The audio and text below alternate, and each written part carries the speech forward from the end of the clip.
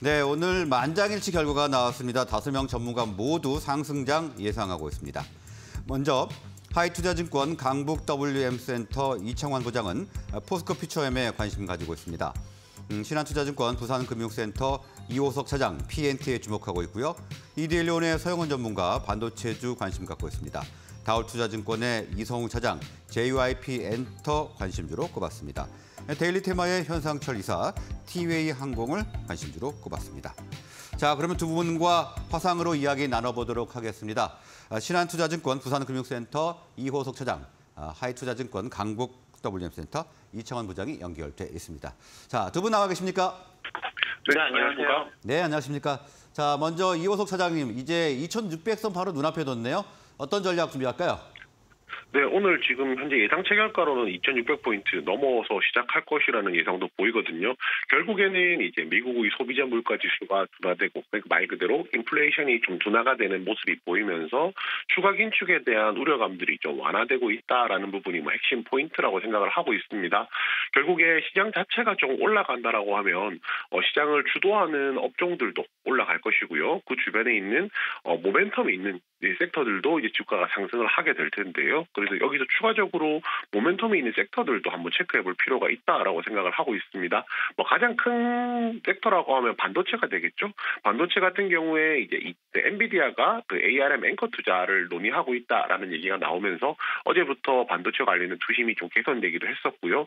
뭐 한미 반도체가 뭐 가장 더 대표적일 수가 있겠죠. 반도체 업종 자체가 투심이 개선된다는 것. 그러면 시가총액에서 차지하는 비중이 큰 삼성전자, SK 하이닉스가 주가가 상승을 하게 된다라고 하면 지수를 조금 더 견인하는 데 도움이 될 거라고 생각을 하고요. 뭐 제약바이오 같은 경우가 시장에서 관심에서 조금 멀어져 있었는데 이번에 셀트리온 그룹이 3사 합병한다는 그 기대감들이 나오면서 현재 이제 바이오 업종에도 투심이 조금 더 개선되고 있는 내용들이 나오고 있습니다. 뭐 얼마 전에는 뭐 삼성 바이오로직스가 뭐 A 실적이라든지 이런 부분에 리포트들도 나오기도 했었고요. 그래서 바이오 업종 투심 개선되는 부분도 좀 체크해 볼 필요가 있을 것 같습니다.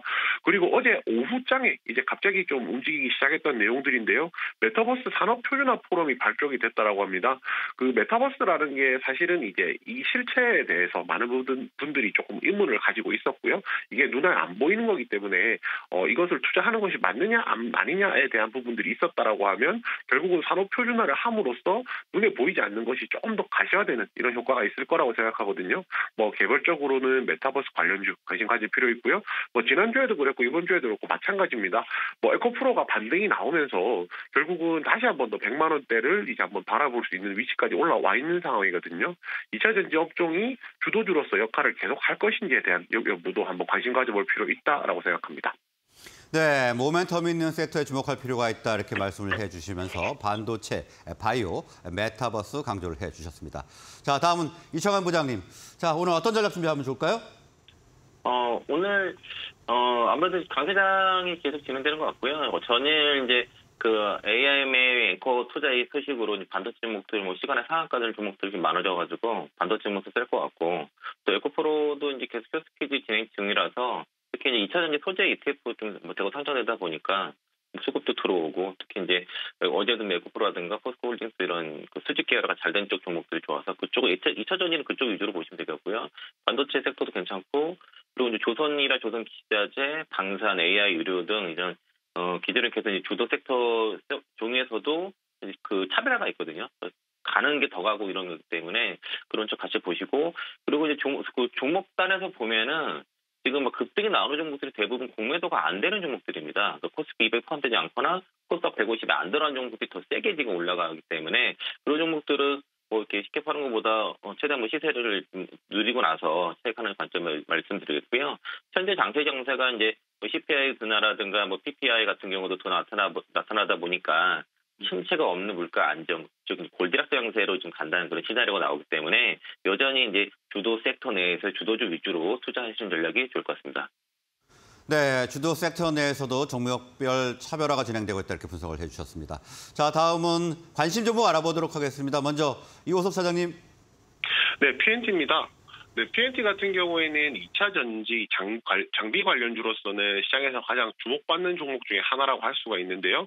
결국은 이제 앞서서 말씀드렸듯이 지난주에 제가 포스코 퓨처에 말씀드렸었고 뭐 이번 주는 뭐 장비주에 대해서도 한번 좀 지켜볼 필요가 있다라고 생각해서 말씀을 드리게 됐습니다.